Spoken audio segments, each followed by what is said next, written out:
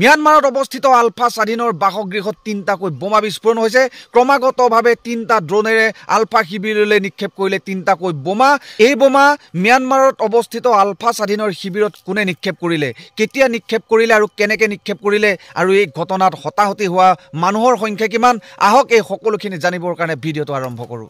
পুৱা চাৰি বাজি আঠ মিনিট হৈ যোৱাৰ লগে লগেই ম্যানমাৰত অৱস্থিত আলফা স্বাধীনৰ শিবিৰত প্ৰথমটো বোমা বিস্ফোৰিত হৈছিল আৰু দ্বিতীয়টো বোমা বিস্ফোৰিত হৈছিল চাৰি বাজি দহ মিনিটত আৰু অন্তিমটো বোমা নিক্ষেপ কৰা হৈছিল আলফা স্বাধীনৰ শিবিৰলৈ বুলি চাৰি বাজি বিছ মিনিটত। আৰু ইতিমধ্যে জানিব পোৱা মতে শিৱইলে বুলি নিক্ষেপ কৰা তিনি নম্বৰ বোমাটো বিস্ফোৰিত নহ'ল। আৰু এই আক্ৰমণ ক্ৰমাগতভাৱে ড্ৰোনেৰে আক্ৰমণ কৰা হৈছিল আৰু এই ড্ৰোন ভাৰতীয় সীমা প্ৰান্তৰ পৰা অহা বুলি সন্দেহ কৰা হৈছে। আৰু এই আক্ৰমণ আলফা শিবিৰলৈ বুলি কৰা যিটো আক্ৰমণ এই আক্ৰমণ ভাৰতীয় সেনাই কৰিছে বুলি বৰ্তমান সন্দেহ কৰা হৈছে। আৰু এই বিস্ফোৰণত দুজনকৈ আলফাৰ কেদাৰ আঘাতপ্ৰাপ্ত হৈছে বুলি গম পোৱা গৈছে।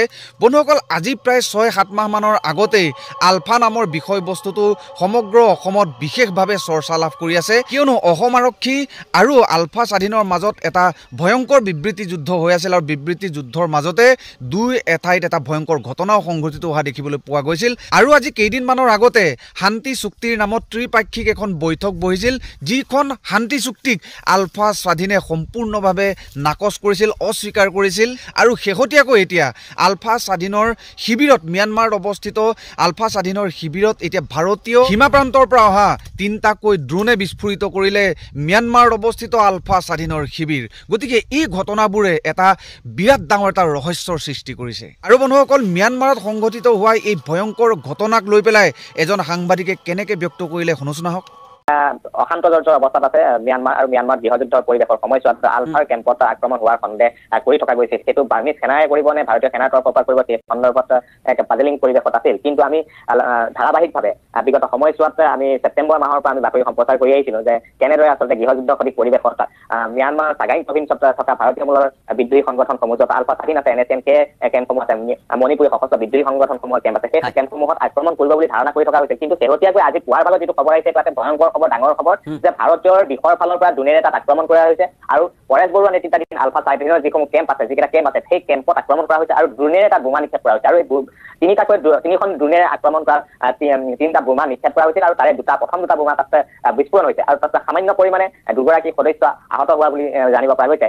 আৰু এই সন্দৰ্ভত পৰৱৰ্তী সময়ত আমাৰ হাতত তথ্য আহিব তাৰ ভিডিঅ' ভিডিঅ' বা তাৰ যি ছবি আমাৰ হাতত পোৱাৰ সম্ভাৱনা আছে। কিন্তু এই মুহূৰ্তত ক'ব বিচাৰিম যে প্ৰথমবাৰৰ বাবে ড্ৰোনেৰে আলফা স্বাধীনৰ কেম্পত সন্দেহ কৰা হৈছে যে ইয়াতে ভাৰতীয় সেনাবাহিনীৰ দ্বাৰা এই ঘটনাটো সংঘটিত হৈছে। কিন্তু স্পষ্ট হোৱা নাই ভাৰতীয় সেনা বা নিৰাপত্তাৰক্ষী বাহিনীৰ তৰফৰ পৰা খবৰ হোৱা নাই। কিন্তু কিছু মুহূৰ্তৰ পূৰ্বে যি তথ্য আহিছে যে সেইটো ভাৰতীয় দিশৰ পৰা ড্ৰোনেৰে আক্ৰমণ কৰা হৈছে। আৰু প্ৰথমতে অৱশ্যে যি প্ৰথমটো বোমা চাৰি বাজি দহ মিনিটত প্ৰথমখন ড্ৰোন তাত গৈছিল আৰু তাত বোমাটো তাত পেলোৱা হৈছিল আলফা কেম্পত। সেই কেম্পটোত প্ৰথমটো বোমাত কোনো হতাহত হোৱা নাই।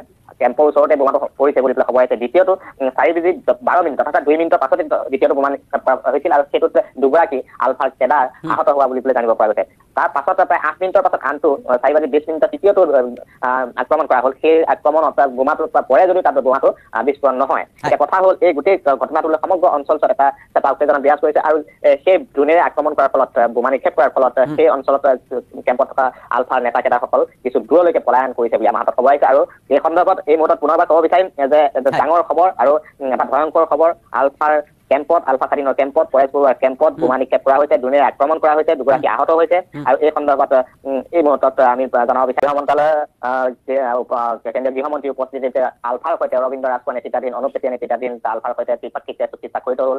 ছচল্লিছ বছৰীয়া সশস্ত্ৰ সংগ্ৰামৰ অন্তত এই চুক্তিখন স্বাক্ষৰ কৰাৰ পাছত এটা গোট ৰৈ গৈছিল সেইটো হ'ল আলফা স্বাধীন পৰেশ বৰুৱাৰ নেতৃত্বাধীন আলফা স্বাধীন। সেই গোটটোৱে এতিয়াও এই মুহূৰ্তলৈকে তেওঁলোকে সাৰ্বভৌম স্বাধীন অসমৰ দাবীত অটল আছে। কিছু মুহূৰ্তৰ পূৰ্বে পুনৰ মই এই মুহূৰ্তত ক'ব বিচাৰিম যে কিছু মুহূৰ্তৰ পূৰ্বে নিউজ এইটিনলৈ আলফা স্বাধীনৰ মুৰব্বী পৰেশ টেলিফোন কৰিছিল আৰু টেলিফোনত সেই কথা স্পষ্ট কৰিছে যে এই যি আক্ৰমণ এই আক্ৰমণটোৰ আঁৰত এই যি আক্ৰমণ দুনিয়া আক্ৰমণ কৰিলে এইটো ভাৰতীয় দিশৰ পৰা কৰা বুলি পেলাই তেওঁ সন্দেহ কৰিছে আৰু ইয়াত তিনিটা বোমা তাত নিক্ষেপ কৰাৰ কথাটো তেওঁ উল্লেখ কৰিছে।